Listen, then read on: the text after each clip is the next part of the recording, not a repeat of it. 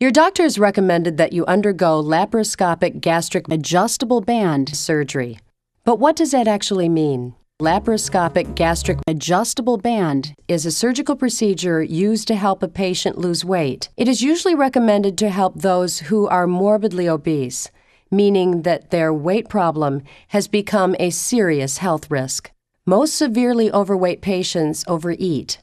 Food enters the body through the mouth, travels down the esophagus, where it collects in the stomach. From there, digestive food passes into the small intestine. Nutrients taken from the food pass from the small intestine into the bloodstream. Waste travels to the colon and leaves the body through the anus.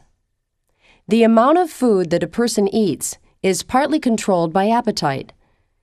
The stomach plays an important role in controlling appetite. When the stomach is empty, a person feels the urge to eat. When the stomach is full, that urge goes away. An adjustable band dramatically reduces the size of the stomach.